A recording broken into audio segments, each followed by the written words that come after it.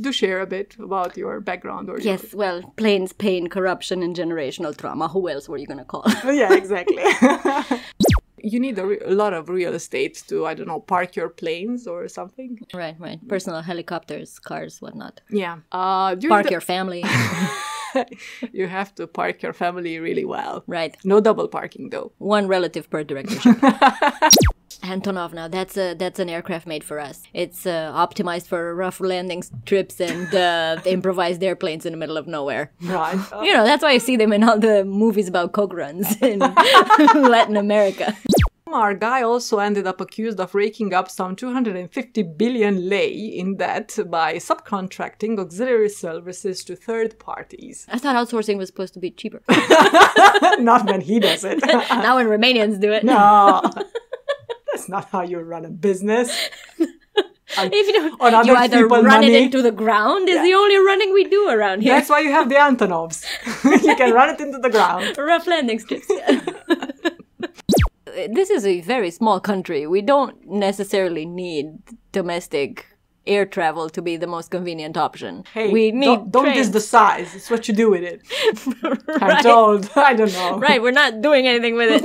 yeah, that's the problem. It's small enough to handle, but we're not doing anything just, with it. It's just sitting there limply.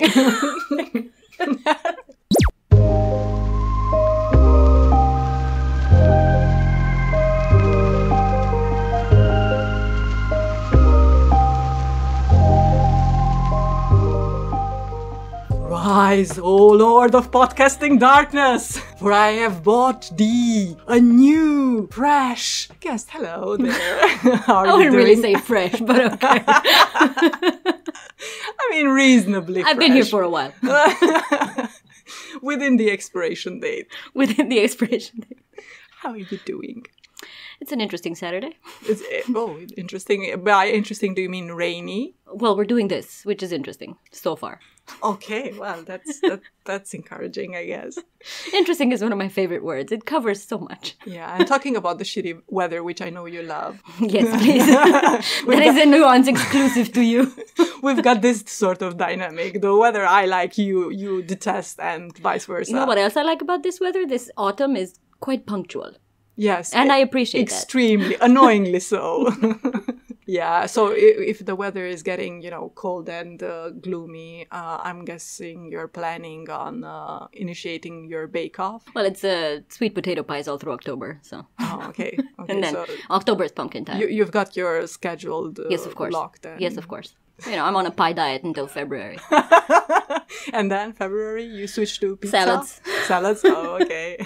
Straight to the salads. Well, pizza is already sprinkled throughout the year anyway. So, you know, there's summer pizzas, there's winter pizzas. I mean, pizza is a vegetable, basically. Pizza is a year round staple. Yeah. Do you want us to slowly but surely get into the topic of uh, this episode? I mean, it's your podcast. uh, yeah, I know. I we're, we're we're not that good at small talk. Well, I'm not that good at small I, talk. I, I, I always try to force a bit of banter into it because, as I said, apparently this is what the successful podcasters are doing. So you know, you have to learn from the best. But then, you know, how are you gonna exceed their level if you keep doing what's already being done?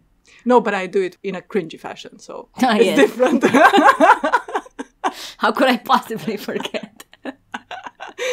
okay. You know, describe yourself in three words. I just need one, Your Honor. Cringe. Today, uh, Let's get into the fuselage of the matter. Yes, yes, yes. Oh, spoilers already. You're a bad girl. you knew what you were getting when Yeah. you called me over. exactly. So today we're going to discuss the state of the Romanian National Airlines, or more precisely, we'll be looking at various snapshots from its recent uh, history. And uh, all our five listeners might uh, might ask themselves, why choose this as our topic? And in a more roundabout way, I would say that at least for me, this this this topic was prompted by the fact that uh, we've talked with other guests about privatization on this podcast before, and why certain things shouldn't be uh, subject to the whims and fancies of the free markets because they are essential for the well-being of society you know things like education healthcare to a certain extent public transport and so on and uh, even if you want to privatize certain niches, it's a good idea to not just, you know, have them taken off the hand of the state and then whatever happens to them, I guess, is fair play. Like, maybe maybe follow up. It, it, it would be nice, you know. Uh, but today I'd like us to look at how just having something nominally state run and sort of removed from the marketplace doesn't just by magic create a service that is somehow perfectly tuned to serve the people and pro- provide for the public good. And I know this sort of sounds very obvious for people living in the dream that is Romania and probably many other parts of the world, but surprisingly, I found many left leaning people on the internet who have this kind of naive i would say idea that if you already has have something that's nationalized that, that, that then you're basically on the right track just as you know other people on the other side of the equation are so, you know, completely opposed to the idea of having anything publicly owned that they uh, deny any benefits for, from the idea. So the point we're trying to discuss here is that details matter. And oversight is not one of our virtues. yes, exactly. uh, and tweaks and course correcting matter, even if you are in principle, so to speak, on the right track to provide for the people. And uh, the fact that the sort of people you have in key position is important because as tired as the whole corruption shtick is, corruption is bad. So Continues to be bad. Yes, yes, yes. Also a year-round staple. Yes, exactly. but unlike pizza, not as delicious. No. yes, and and you know a system that uh, has uh, bad, corrupt people in it, uh, even though on paper it's supposed to work wonderfully, it won't. it, it will just you know take on the image of the people actually running it. So I guess taking perhaps such extreme examples as the state of the Romanian national airlines might feel unfair and discouraging to some, but I think that looking at some of the worst case scenarios is the best way to try and weed out the things that prevent institutions or agencies from doing their job, basically, you know, providing for, for all of us. So I asked Ioana to join me for this episode because I was curious to learn about the history and current state of the, as we said, Romanian Airways, which uh, shall be hence uh, known as Tarom. And I am uh, very much looking forward to your uh, insights because uh, at least someone in your family had the flying bug. So I guess y- you know a bit of, of the Just vibes. industry. Just vibes. I mean, we're running on vibes anyhow. What else do we millennials have any left? exactly, exactly. So you know, do do do do do do share a bit about your background or your- yes, well, planes, pain, corruption, and generational trauma. Who else were you gonna call? yeah, exactly. I am uh, here because I happen to be the offspring of a uh, flight enthusiast. the issue. the issue. Um, my father was a fighter pilot, which after retirement joined a civilian airline. Mm-hmm. Not Tarom, but Okay. but we got um, a little taste of the corporate version, liberal version, whatever you want to call it. oh, corporations of, uh, are the same everywhere, aren't they? yes, it's a model. Yeah. I'm curious to see what you've dug up. Yeah. I'm not an insider You're in you're you're here to sigh and giggle and stuff like Right. that. sigh. sigh I can do.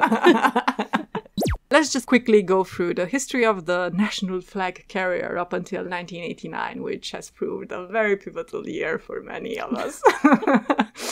so Good year, I'd say. All, yeah, all things yeah. considered, Worked uh, out relatively all right. I mean, it depends on who you ask. So the year was 1920 when CFRNA, the French Romanian company for air navigation, was founded with two active aerodromes, one in Arad and another one in Bucharest at Băneasa. So this was in the 20s and then 30s. And then as far as I understood, between the two world wars, seems like the airline was mostly just busy switching between a fuck ton of names.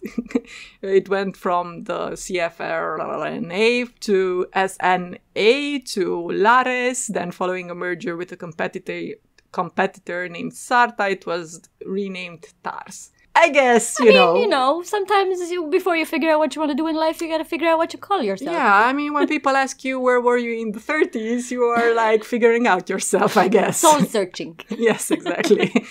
Um, TARS was jointly owned by the Romanian government and the uh, Soviet liberators.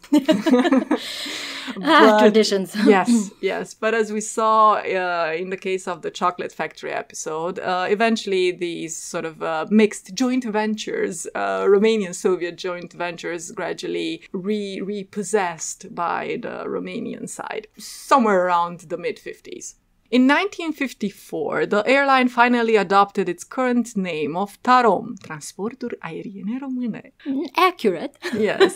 But An accurate name. Yeah, yeah, yeah, yeah, yeah. It's, it says, it does what it says It's on the tin. exactly. By 1960, Tarom was flying to a dozen cities across Europe. 1966 saw the operation of its first transatlantic flight. On the 14th of May 1974, it launched a regular service to New York City. Fancy. Not anymore, though, No. so it's fine. Lufthansa does all right. yeah. or did back in my day. Uh, being part of uh, the regional group of airlines within the Eastern Bloc uh, meant that for much of its history, Tarom has operated Soviet designed aircrafts with a few exceptions. With 59 aircrafts in operation in the late 70s, Tarom had the largest fleet in the Eastern Bloc after Aeroflot, the Russian Federation's, well, USSR's fleet. And then, slowly but surely, in came the 90s. and Romania just shed its pants in every major industry. A complicated time. Yes. And uh, boy, uh, Tarom's journey has been rocky as fuck. Over the last 30 years, Tarom has reduced or stopped servicing several of its national and international routes, uh, lost a significant chunk of its qualified personnel to competitors, and more recently had to be salvaged during 2020 when even the airlines that had been doing well were hard hit. So you told me a bit about your father's uh, experience as a pilot. Uh, how did the aviation landscape look like in those years, at least from what you can remember, uh, particularly in terms of any overlaps between civil and military aviation and people going from one to the other? Well, the biggest change that I can recall, I was tiny and completely uh, Just preoccupied just how with my own things. was Ioana? um, below adulthood. Yes, that, that should tiny. cover it.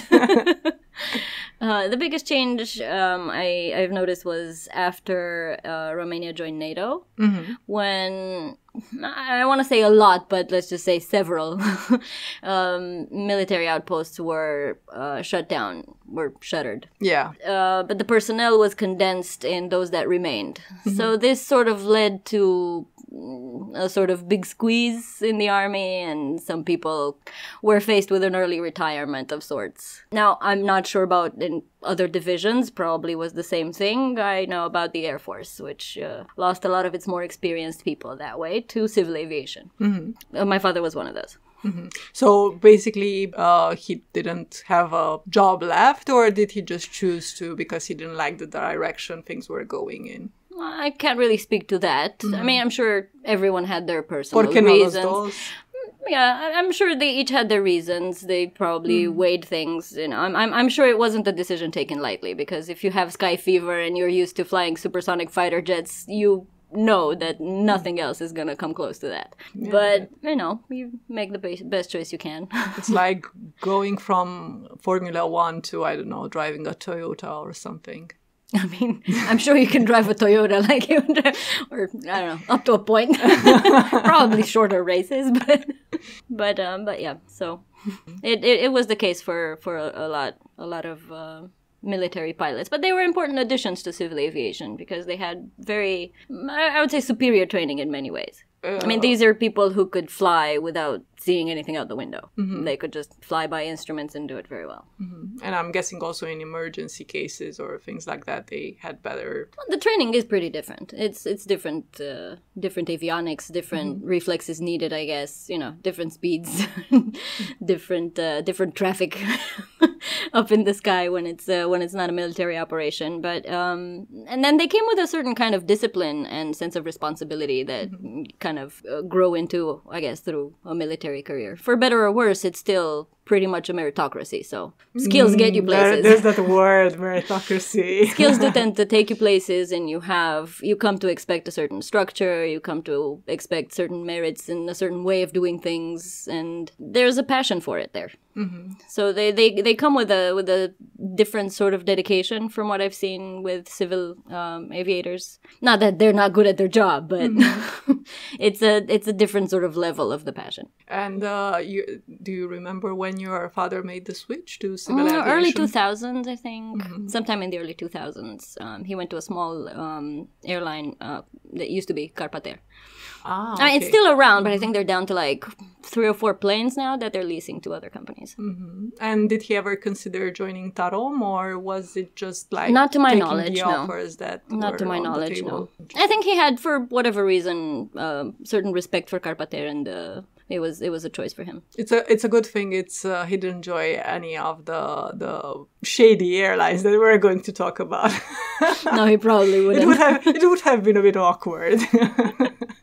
Although you know uh, whoever the the employees on the ground were in those companies, they were not at fault about I mean, what no airline is pristine. Let's you know, Yes. obviously. I mean, some some might uh, like to imagine that they're the cleanest, but Translation: We cram as many passengers as possible into flights, so Oh so statistically, we are cleaner per passenger. no, Jesus Christ. Doesn't feel clean when you're in the plane. No, it doesn't. Now, um, let's uh, take a first dive into whatever has been happening in our uh, national airlines throughout the last few decades. I'd like to introduce you to a few interesting people that have left their mark on Tarom. Uh, the selection is limited because uh, what has happened at management level with this company is a endlessly revolving door of new and recurring characters. At one point, I, I, I thought about going over a year by year timeline, but it's futile because it, it would just be too confusing and the list of names in rapid fire succession would be just mind numbing. Uh, at, at some point, uh, you basically had people staying less than a year or six months in that position. So there's no point. It would just be me A character-rich plot that Yeah. cannot be condensed into a Yeah, movie. yeah, yeah. Uh, so I sort of took my pick of some notable names and to be honest, I am not at all convinced that these people are the, shall we say, most interesting of the bunch.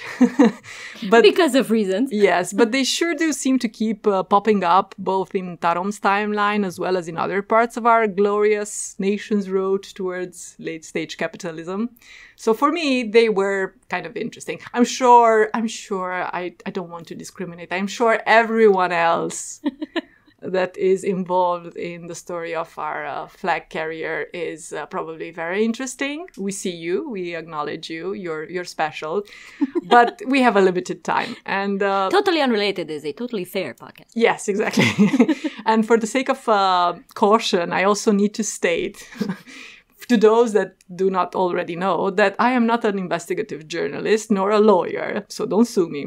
Uh, and my ability to determine the degree of guilt of these people in the success or ruin, mostly ruin, of the ventures they were involved with prior, during, or after their time with Tarom is limited. But I do think that if your name keeps popping up alongside businesses that seem to be linked to shady transfers to shell companies or bankruptcies or just general weirdness, you might just be an interesting character. That's that's all I'm saying. Things seem suspicious, and we're just gonna sprinkle a lot of allegedly everywhere. Yes, yes. And now that we got the disclaimers out of the way, let's get to it. Let's set the stage for our first character that is actually a double act that I'll call the Brutaru clan or dynasty or family business venture. That's the one. Yes, yes, exactly. Uh, first, we're going to talk about the patriarch, Nicolae Brutaru, and then about the daughter following in his footsteps. Both were in charge for only two or three years, uh, the father between 1994 and 1996, and the daughter between 2009 and 2011, which, although it might seem like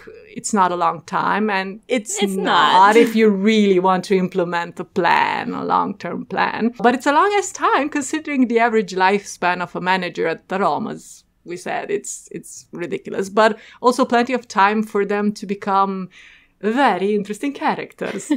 I am sure this has nothing to do with anything, and it's just a piquant little tidbit that I'm casually just throwing out there. Uh, but the family has a connection with former President Traian Băsescu. Dun dun. family is very important for Romanians. I, Yes, uh, yes. I, I think God- godfatherliness as well. Yes, extremely.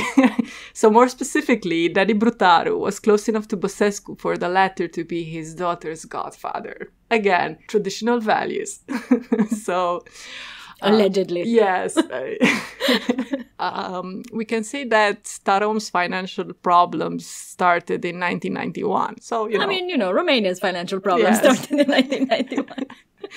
they were there from the get-go. Um, and Good uh, people on all sides. wonderful people on all sides. In 1991, Tarom decided to keep its fares low against foreign airlines uh, while plunging into expensive debt to buy free Airbus and A five brilliantly Romanian strategy. Yes, and Boeing aircraft 737. I don't know. I'm not a plane geek, unfortunately. So Big plane, mostly white. yes, Cute snoot. uh, hence, the idea of privatizing the airline is put across. But unlike companies operating in other sectors, civil aviation is considered of national interest and prestige, sort of. Keep the precious. Yes. And so its privatization, blah, blah, blah, blah, blah. And so its privatization can't happen without the government's blessing and oversight. Ah, that word again. yes.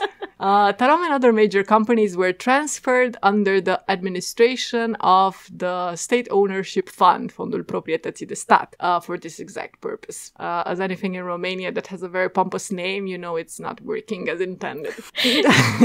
Usefulness is inversely proportional to pompousness. yes. In the meantime, uh, while bureaucrats are making elaborate plans to find opportunities to potentially do something sometimes in the future, what uh, does the National Air Carriers Chief do to address the issues mentioned earlier? One of Nicolae Brutaru's main objectives was replacing the existing fleet. So he tries to sell several planes on the cheap, uh, not not by my estimations, because I don't know what a plane should cost How many now. how many washing machines would 90s. that be? I, I, I have no How many idea. washer dryer? I'm just Yeah. quoting, just quoting the experts here. Brutaru turns for funding to a private airline company by the name of Dac Air. Ah, yes. It's not duck as in duck, not as in mac. Ah, it's just like stupid Romanian history. We came from the ducks, who came from the trucks, and then you know intermingled I with mean, the the, Romans. the alternative would be Dax, who came from tracks. Dex from, from Dex. Yeah, it, it, it, it, Does not translate well, but it's- it, it's good that it's a thing of the past. Yeah. So, uh, you know, uh, jokes aside, it's supposed to be a reference to the Dacians, who were a population that was conquered by the Rome. Yes, yes, yes. So that uh, company, Dac Air, uh, was owned by businessman George Păunescu, whose name is linked to the bankruptcy of Bancorex, uh, one of the big banking scandals of the 90s in Romania. We're starting off well, right? Great resume. So, uh, what was the deal between Tarom and Dac Air? Essentially, the Romanian government negotiated the transferal of route rights to Păunescu's private company for all domestic flights, as well as regional flights to Thessaloniki, Istanbul, Sofia, or Kiev. So, already they were like, take this off our hands. It's, it's fine. You know, you're our competitor in one way or another, but like, we're gonna just like cede you these things, like, just for funsies. I Yeah, guess. sure, sure, sure. You can No, have no, these. no, okay. no, no worries if not. it, it, for that, right? For that, uh, which is not going to bite us in the ass. Which again, a brilliantly Romanian business strategy. Yes. From what I could make out of Păunescu's convoluted financial engineering, and by the way, this is what he himself calls what he has been doing. Um, Everybody wants to be an engineer. yes. I mean, it's very Eastern European, isn't it? Right, right. So his MO was roughly as follows. As he had links inside Bancorex, uh, he got the bank to provide most of the starting capital for Dac Air, which was around $20 million at the time. And when Bancorex went bankrupt, the bank had only paid for like 6 uh, worth of those shares. Shortcuts. Yes, and um, you know when uh, the shit hit the fan, Bancorex was split up into two entities, so to speak. One was BCR, which got all the viable assets, and then there was this AAAC, Autoritatea pentru Administrarea Activelor Statului. So it would be like the authority for the management of state uh, bonds or shares, something like that. Something of the sort. Yeah. So, and the, they, they got all the toxic bonds. Which is why I've only heard about BCR. yeah.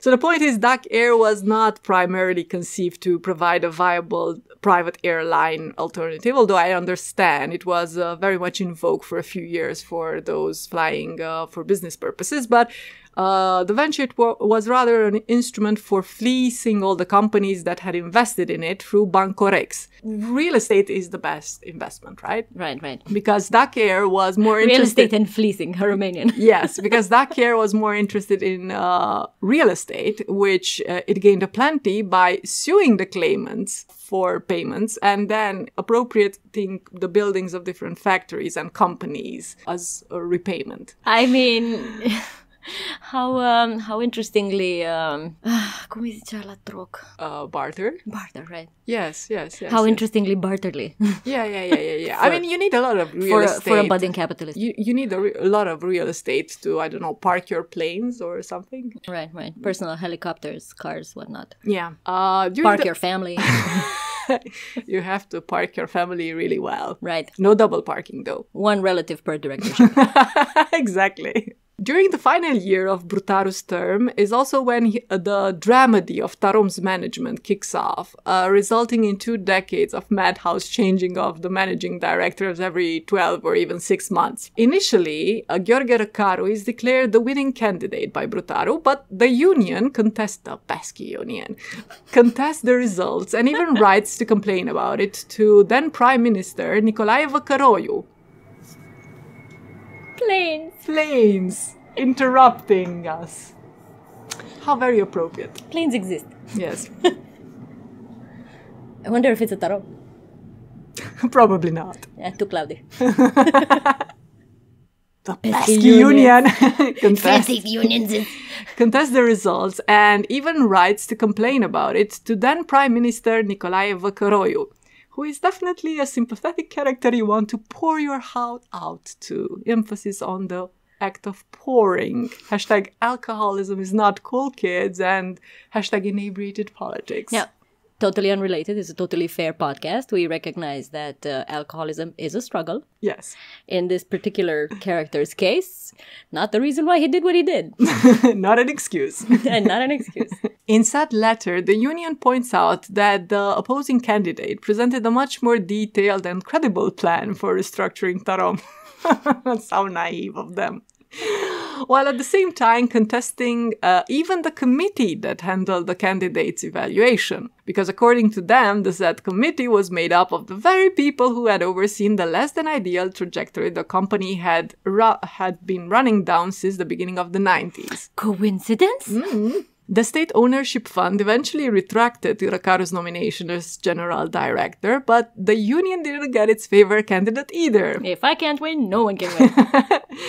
uh, as the fund nominated a third man who wasn't involved in the selection process at all. the third man. a new mystery by Stephen King. The company's former technical director, Dan Vulcan, great name, who then refuses to accept the nomination because this is that kind of telenovela. You're hired for what? I refuse. I refuse. I don't know you. Get away from me.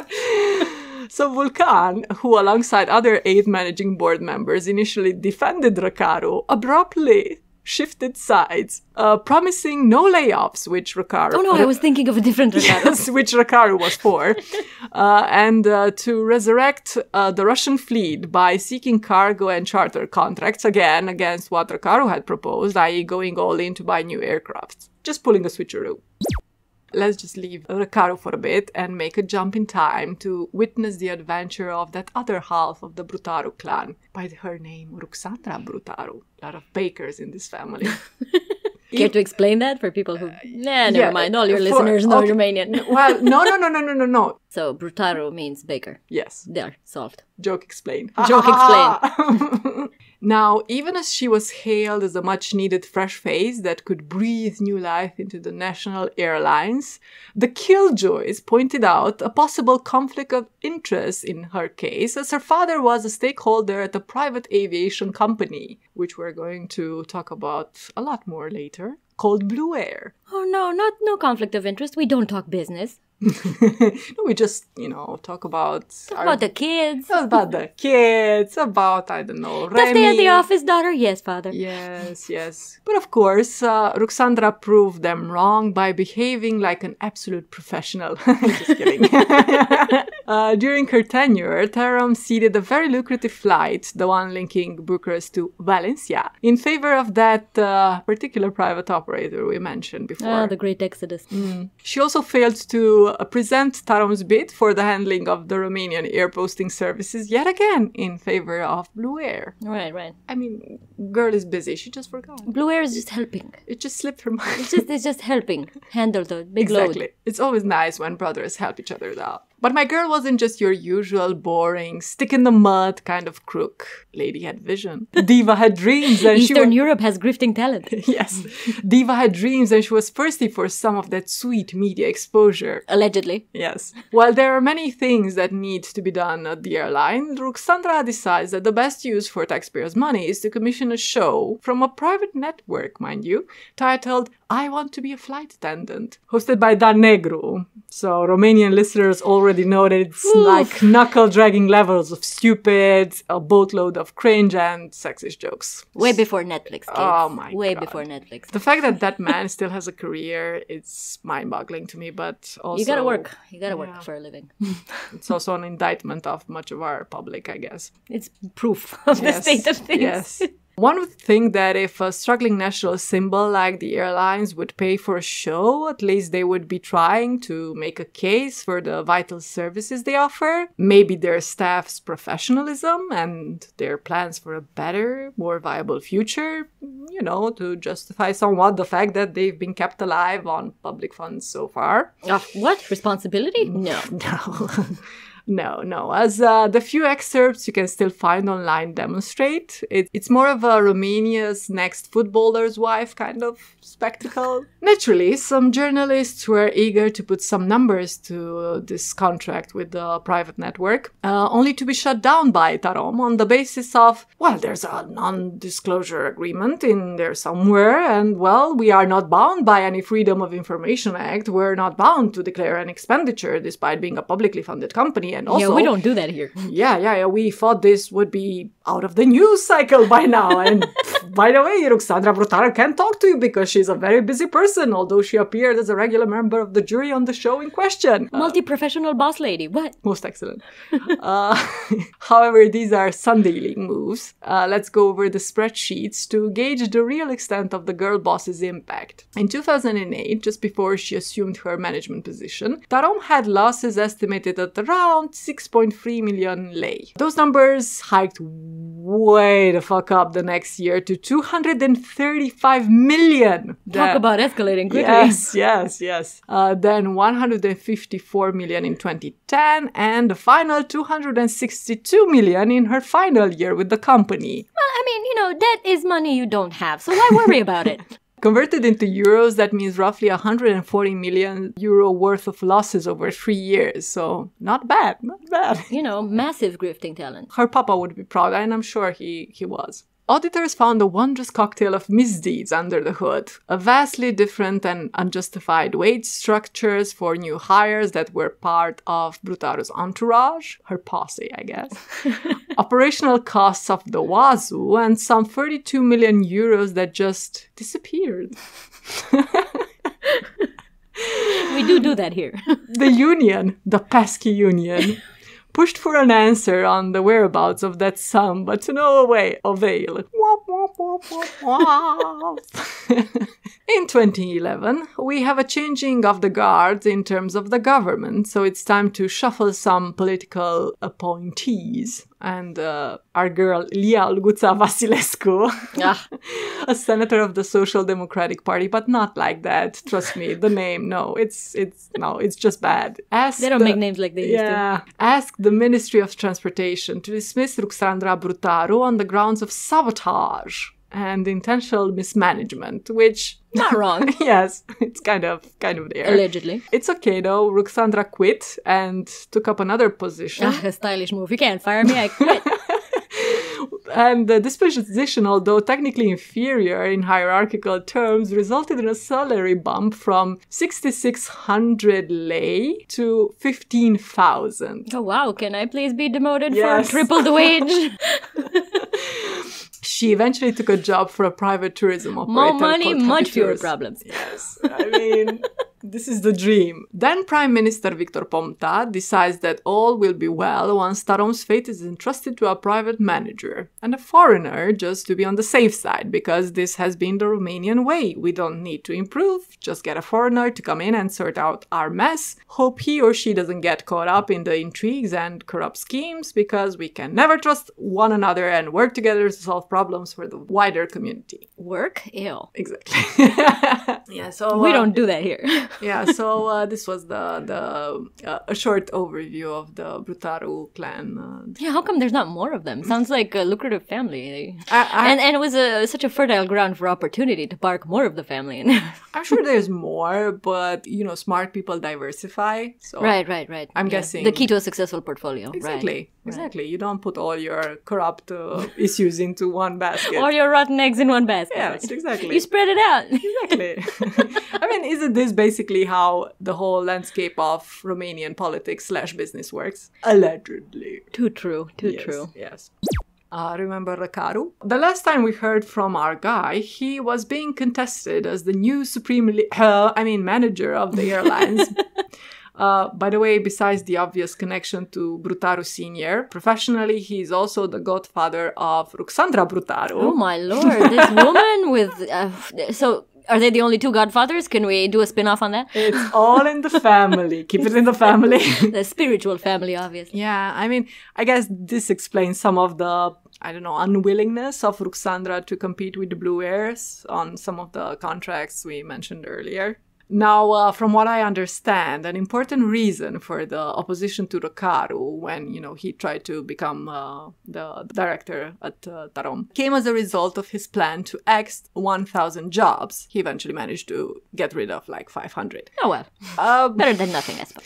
I mean, obviously, this sort of move doesn't make uh, one popular with the union. This pesky character. Yes, yeah, that keeps popping up. Uh, on his side, Racaru argued that Tarom was uh, employing a staff of 3,500, uh, half of whom were in technical functions, which we know are just not. Wh- why are they even there? They don't have like a job to fulfill. And it, he basically said that th- th- there's no point in having that uh, many technical uh, staff because most of its 60 Soviet aircraft were unserviceable. Right, and retraining staff is unheard of. People are just, Just can't be done. It cannot yeah, be done. Yeah, yeah, yeah, yeah. Uh, actually, replacing a fleet made up roughly 80% of old Russian-made Antonovs, Ilyushins, and Tupolevs was another of Racaru's proposals. Antonov now, that's a that's an aircraft made for us. It's uh, optimized for rough landing trips and uh, improvised airplanes in the middle of nowhere. Right. You know, that's why I see them in all the movies about coke runs in Latin America. Oh, I didn't know that. So And it has a cute snoot. Expertise. this is what this podcast brings you. right. Expertise vibes. yeah. So he tried to buy five US made Boeing 747s, adding to three Boeing 737s already operating. But the Romanian government refused to guarantee Tarom's loans of up to $150 million. All right, suddenly it's not ours anymore. oh, this? No, no, I've disowned this child. No, I mean, you should just go forth and, you know, seek uh, financing from, like, I don't know, more appropriate sources that will eventually ask for the money back in the most horrendous ways, I guess. Uh, besides starting a beef with the union during his tenure at Tarom, our guy also ended up accused of raking up some 250 billion lei in debt by subcontracting auxiliary services to third parties. I thought outsourcing was supposed to be cheaper. Not when he does it. Not when Romanians do it. No. That's not how you run a business. if you don't, on other you either people run money. it into the ground is the only running we do around here. That's why you have the Antonovs. you can run it into the ground. rough landing strips. Yeah. Attempts to privatize Tarom during Racaru's time were underway, with the state supposedly holding on to at least 49% of shares. That was their first call, and then they went, eh, 33.4% would also do. Thank you very much. was it was it thirty three because uh, Jesus? I don't know, but it's like 33.4%. It's, it's very. It's suspiciously accurate. Yeah, Uh, yeah. Someone was like, "Mm, Somebody was like, "No, that doesn't look professional enough." You gotta make it look exact. Yes. so this all happens around 2000, the year 2000, in the year 2000. Uh, and tell me if this surprises you in any way, but nothing comes of it. oh no, a fruitless, indebted en- endeavor. To this day, nothing comes of it. Who'da Uh, thunk? Yeah, yeah, yeah. They've been juggling with like different percentages that they would hold on to for then the, some private uh, company to take the rest of it. You think maybe they maybe they think they were playing lotto and they're just testing numbers? I, at this point, it's just Jesus take the wheel because nobody I else mean- will. it's the same. It's the same chance of success, really. Yeah. So by the end of that year, Racaru was removed from his position by the Minister of Transport Anca Boagiu. but alas, the story doesn't stop here, because while our, our hero's romance with Tarom may have ended, he had so much more to give. or take. Mostly take. Ever heard of Onete Carpați? No, not particularly. Yeah, me neither before uh, doing research for this episode, but apparently it was the largest tour operator in Romania before it finally went under in the 2010s. No. And uh, Racaru was both head of the board as well as uh, a mini- minority stakeholder. So he had skin in the game. Yes. Ah, a minority of skin. just a graft. a greased grass. yes.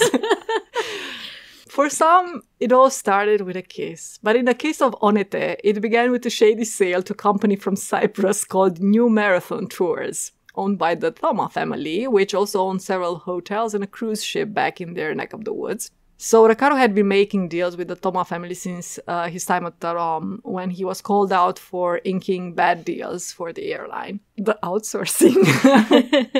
but back uh, back to Onete, uh, the transaction uh, to, to towards New Marathon Tours raised several eyebrows because it was way below the market price for the assets held by Onete, which included fleets of buses, maintenance facilities and garages for said fleet, large plots of land near the seaside, uh, mountain resort villas, and hotels.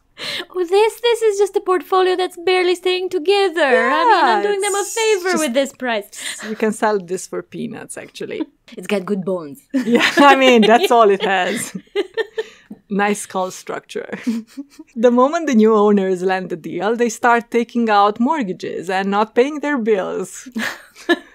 As you do. As you do. Then uh, they started selling off assets to pay for the said debts. In 2003, Racaru bows out of his role at Onete but retains his shares, and in 2007, the Cypriots make their exit, having dug a deep enough hole for the tour operator to finally declare bankruptcy in 2011. Dug all the way down to the tunnels in Bucegi Mountains. Uh, yeah, until they got to, I don't know, circling, back, circling back to the ducks. Yeah. so that was Onete. Uh, but wait, there's more. The never ending story. Yes. so my man can multitask because in 2004, there was this man, this businessman. The third man again? Mm, there's a man, there's always a man There's always a businessman. called Nelu Iordache. Mm. Does this ring a bell? no, but I was just thinking, you know, there, there's these names, much like Nelu Iordache, who kind of want to sound respectable, but to us, it something shifty in that Yeah, name. yeah, something yeah. sounds shifty about that. The the the name sort of sets. Uh, I don't know if it's the Your or the. Nelu. How dare you? My my father is a Nelu. well, I mean, Nelu is perfectly fine. It's Iordache that's shifty. okay, fine. So there was this bus- Allegedly. exactly. So there was this businessman called Nelu Iordache who launches a new private airline called Blue Air. Remember? ah, yes, uh, another one of my not favorite. This airlines. this is a very postmodernist timeline, I realize, because we've mentioned Blue Air before and now we're sort of here at the beginning of. Uh... Uh, listeners of this episode should also try watching uh, Tenet.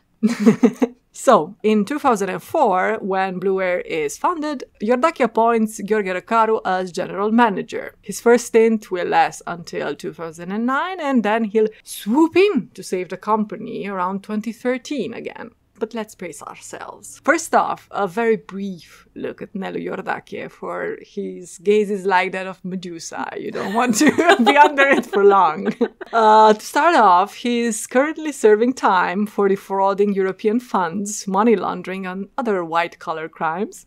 I mean, if you're going, Overachiever. if you're going to do crimes, the white collar type is the best type of crime you can do.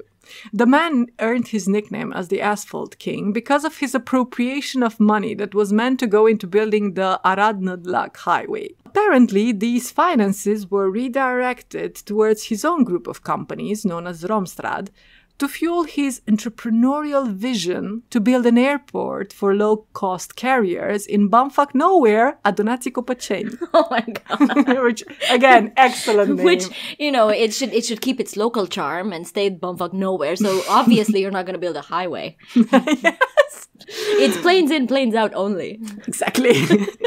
Uh, you commute by helicopter, I Right. guess. so, what happens while Racaru is at Blue Air? During the man's first stint, the company gained control of a sizable portion of the national air travel market, courtesy of, as we said, some help from uh, Tarom's uh, uh, Brutaru, uh, being the second largest player behind Tarom. Uh, the authorities started investigating Nelu Iordache, the dude with the dough, in 2012, and a year later, Racaru, once again general manager and a minority stakeholder at Blue Air, calls a meeting of the board with the stated intent of suspending Iordache because, you know, he was damaging to the company, Obviously. having been put under arrest. Uh, but what Racaru actually did was to transfer all the assets of Blue Air to a newly formed entity operated by an associate of his, Luciana Păunescu, along with a few pals from his days as a pilot at Tarom. Wait, I need to process. So I'll give you a few Um, minutes. we need to protect these assets. Here, a friend of mine can hold them. Is that what we're doing? Yes, yes, Okay, sure. and we're still. This is still a publicly owned company, right? Uh, no, Still- no, no, it's Blue Air. Oh, it's Blue Air, sorry. It's Blue Air. Cut this part you, out. You, you can do whatever. No, Don't tell me what to do. I'm sorry.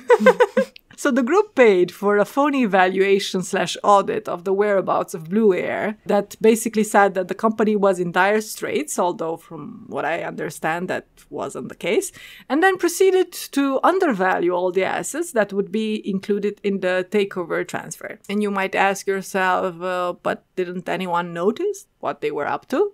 Well, my boy Riccardo had friends in high places, including ANAF, which is uh, the agency that is actually charged with preventing fraud. Allegedly. Uh, and uh, he had them uh, sign off on the takeover as being legit, uh, while also cutting him a sweet deal by having him pay back only 10% of Blue Air's total debts. I mean, that would make home buying a lot easier. So this is uh, Can this, everyone else get that deal? This is uh, what comes from being excellent at networking and having great social skills. Is Oh, what I right. Introverts can't have nice things. Yes, I'm sorry. I'll live. you remain a peasant. From what I could It's okay. Trees are much better company than most people. Uh, from what I could find in archived articles, there were speculations about an orchestrated arrest coupled with a hostile takeover to strip Nelu Iordache of the jewel in his crown. What? Politically coordinated stuff? No way. no way. Th- this is not to say that Nel- Nelu Iordache was some innocent, perfectly humble and wonderful businessman, because of course not. from what I could piece together from the puzzle of his ventures throughout the last three decades, Racaru is your uh, typical case of failing upwards.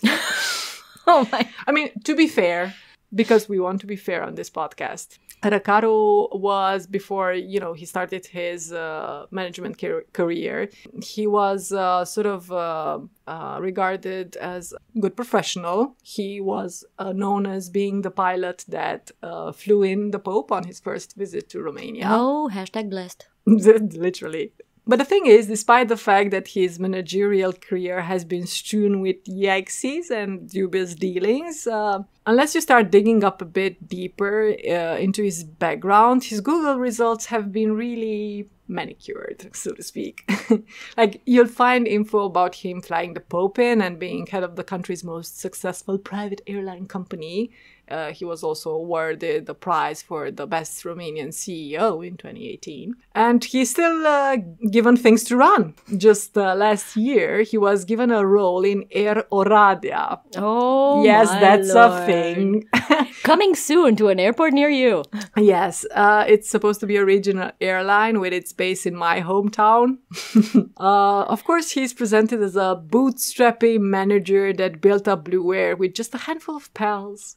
and didn't he do a wonderful job? Strategically placed pals. yes. All, all the lines go up in the terms of the number of passengers for Blue Air and their fleet of airplanes, so that's all that matters, right? I mean, if you choose your KPIs carefully, you can project exactly the success you want people to see. Yeah. But to me, what's even more infuriating is that he's spewing that annoying one size fits all arguments of how pay cuts and layoffs and sticking it to the union. Remember Oh the my- union? the filthy unions. is- uh, that uh, you know this is the solution to Tarom's many many problems. And in fact, in an interview he gave in 2020, when obviously Tarom was extra fucked because of the pandemic, uh, Racaru gave his two cents on what should be done. And the title of the piece itself is literally a quote of his saying how an efficient manager would need to hold his own against the unions, arguing that actions need to be ruthless and have the full backing of the government. And uh,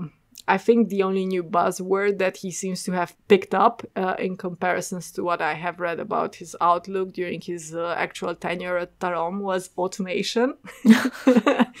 uh, because he, he incorporated that into his uh, speech, like, you know, you need to reduce positions in the company through automation. Right. Efficiency, efficiency, efficiency. Hello, fellow modernses. I know a word too. yes.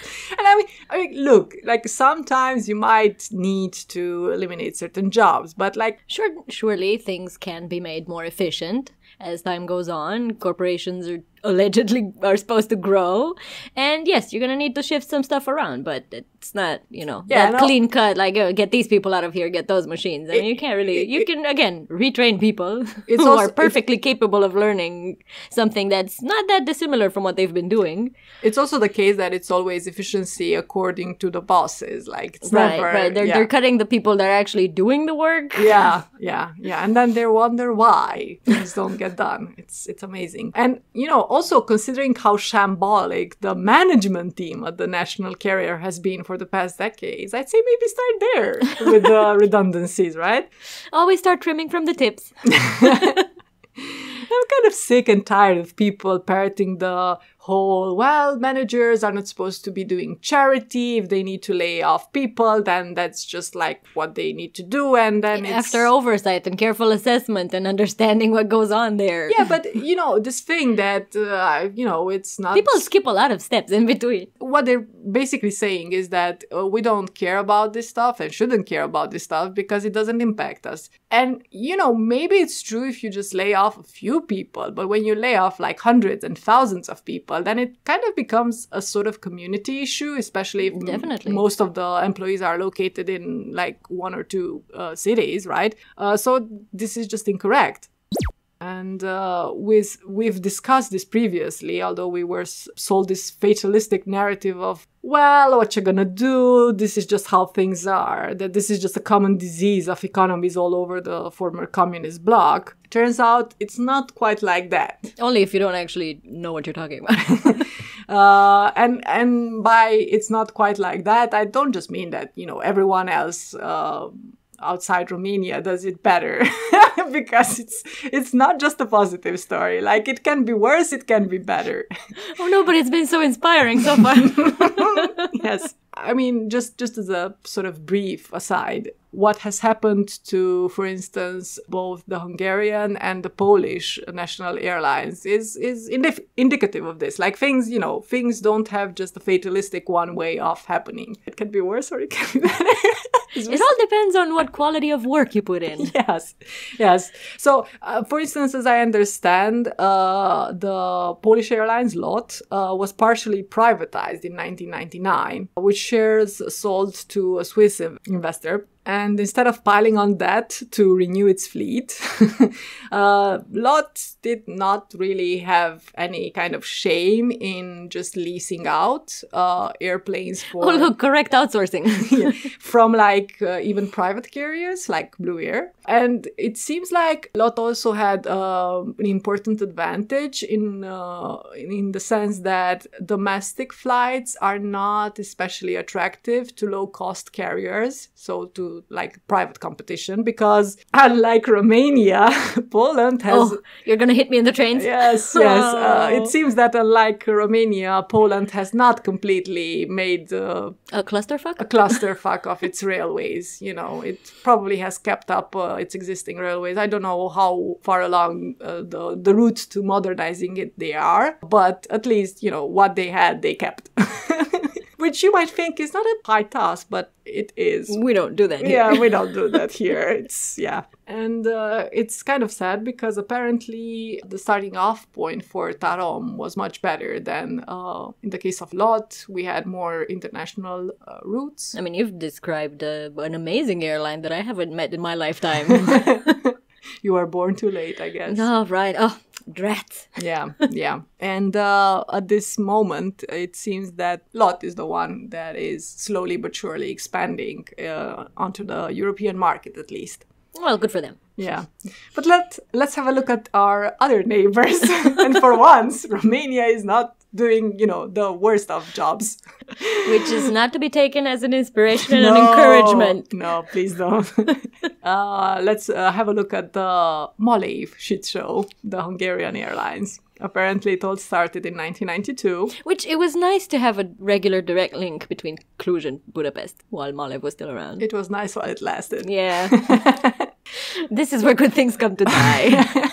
So in 1992, the Italian national airline Alitalia and an Italian bank purchased 35% of Malév, but by 1997, the Hungarian banks had to repurchase the Italian shares. After many years of trying, the National Property Fund managed to sell the airline to Airbridge, a Russian company, in 2007. Business with the Russians didn't work out. Oh no! oh no!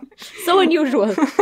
and in February 2010, the majority owner of the airline once again became the Hungarian state and the majority owner by like 95%. Since Malév was in financial straits, the Bajnai government injected 25.36 billion forints into the company only a few months before the national elections. Convenient coincidence? Always a good idea. By this time, Hungary was an EU member, and so Wizz Air, all you people coming up. The other union. yes. All you people who just uh, went on your summer vacation, raise your hands in the air. Uh, so Wizz Air, a private company and a competitor, initiated proceedings against the Hungarian government's financial aid package for Malév, which they contended was illegal state aid. You know, incidentally, Váradi József, the CEO of Wizz Air, had also served as CEO at Malév between 1999 and 2003. Loyalty jumps with the captain. So uh, I don't know this uh, thing whereby people in high position in state-run enterprises suddenly become the founders or CEOs of private competitors is not exclusive to our uh, neighbors, I guess. After the elections, Viktor Orban tried to convince Chinese investors to take Malév off his hands, but the investors did not bite. Ooh, burn. Going from the Russians to the Chinese. A tough position to be in. Mm. In January 2012 came the very bad news that the European Commission had determined that the state aid to Malév was indeed illegal and that Malév must pay back all the money it received from the Hungarian government ever since 2003. Womp, womp, womp. After uh, having two planes seized at foreign airports by creditors, Malév immediately ceased all flight activity on the 3rd of February 2012. The airline's total debt were 60 billion forints, that's like 270 million US dollars, at the time of its shutdown. On 14th of February 2012, the Metropolitan Court of Budapest declared Malév bankrupt. Happy Valentine's Day. I didn't even notice the date. Happy Valentine's Day, you broke motherfucker. And uh, I guess that uh, left the door open for Wizz Air to basically be like, yeah, we're the only boys in town here. I mean, they, they did well for themselves with all the space Yeah, definitely, definitely. And, you know, uh, some of the more, I don't know, I guess, libertarian, libertarian uh, inclination would argue that, well, as long as, you know, the customer is well served by the private company, that's perfectly fine. That's yes, where I would but- beg to differ. Yeah, and also, like, it's a But then again, it really depends on what the customer expectations are. Yeah, uh, and also like it's a private company. You know, if eventually it goes bankrupt, then like what? You don't have air transportation anymore. Like what? What do you do? What? What? What's what happens in the interim before you- competition kicks in? You can't possibly be talking about planning ahead and having constructive strategies for the future. We, we don't do that here. No, come on. We just fly by the seats of our pants. Yeah, such as they are. yes, yes, yes. Yeah, I guess uh, this was uh, this was it for um, our overview of interesting characters and interesting factoids about uh, the state of the industry of the aviation industry is in Romania. If this was a George R. R. Martin uh, true crime novel, lots of the lots of characters would have been killed off by now. How do you know they haven't been? yeah, so I don't know. Any thoughts? Concluding thoughts? Well, I'll just grab a snack. I wish we had better trains. I, I really do. So our our, con- uh, our conclusion for this episode is like fuck planes. We need better trains. No, I mean we need both, definitely. But you know, this is a very small country. We don't necessarily need domestic air travel to be the most convenient option. Hey, we need don't, don't diss the size. It's what you do with it. I'm Right. told. I don't know. Right, we're not doing anything with it. yeah, that's the problem. it's small enough to handle, but we're not doing anything just, with it. it's just sitting there limply. Look at the lesbian making all dick jokes. Ah, interesting Saturday indeed. I provide. you never disappoint. Yeah, of course. Okay, so do you want to, to help me to say bye bye to the listeners? Bye bye to the listeners. no, no, no, no. First, you have to awkwardly go like, "Oh, it was nice being here. Thank you, Jesus. Something, something." And Well, I told you it was an interesting Saturday indeed. oh, and if you're enjoying this episode on YouTube, uh, you might have noticed some of the pretty pictures, courtesy of our friend Lehel, who is an avid plane spotter and has an eye for all the lovely snoots out there. Thank you very much. And guys, go and check out his work on Instagram or Facebook at Cluj Spotting, one word. Uh, links in the description. Uh, so, uh, thank you for listening. If you have the time and the disposition, share, like, and subscribe. oh, come on, people. It doesn't take that long. Exactly. Surely you can do that. uh, and I promise there's better episodes after this one. okay, so uh, see you next uh, time. Bye. Bye.